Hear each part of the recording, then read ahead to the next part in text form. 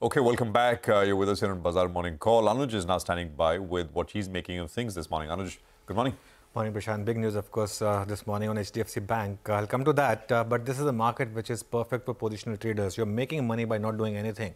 Just look at what the Nifty low has been. I presented this table yesterday as well, and now uh, just updating it. Uh, and you know, before that, it was 23,350 and 23,562 as well, and then 23,670, 23,805, 23,985, 23,992, and yesterday's low was 24,056. All you got to do is uh, trail your stop loss to previous day's low, and the market's been rewarding you from 23,350 all the way up to 24,000 thereabout. Uh, uh, so the Nifty made another higher low, seventh day of higher low. I think this could be some kind of a record, and it rallied 70 points from the lows. Uh, Bank Nifty expiry today. We need to see how it reacts to the gap up. Uh, HDFC Bank alone, going by arithmetic, uh, uh, would account for 500 points.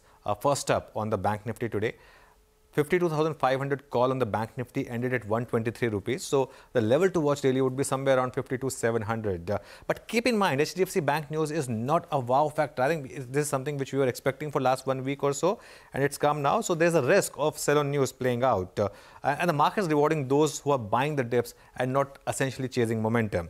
Coming to levels then, on the Nifty, the first resistance is 24 236 to 24 250 and then 24,400 to 24,500 based on the monthly options. Support, of course, first the neutral zone 24,124 and then 24,056 yesterday's low. I think the bank nifty is more important index. Today is the kind of a day where you don't want to go in with predetermined strategy because you know it needs to be seen how HDFC Bank reacts. Uh, uh, you need to observe how, how it uh, reacts. Also keep in mind the other components of Bank Nifty have been quite weak, ICICI Bank, SBI and Kotak. So we need to see how uh, these things compensate each other in terms of levels to watch 50 to 700 based on the options that I just mentioned and then 50 to 828 yesterday's high would be the levels to watch. Uh, quote of the day would come up for you uh, and uh, interesting one uh, uh, okay it's uh, our background and the circumstances might have influenced who we are but we are responsible for what we become. So okay. that's the quote of the day. Okay, very, very uh, insightful there and, you know, a lot of sane advice both on the market and on life. Anuj, thanks a lot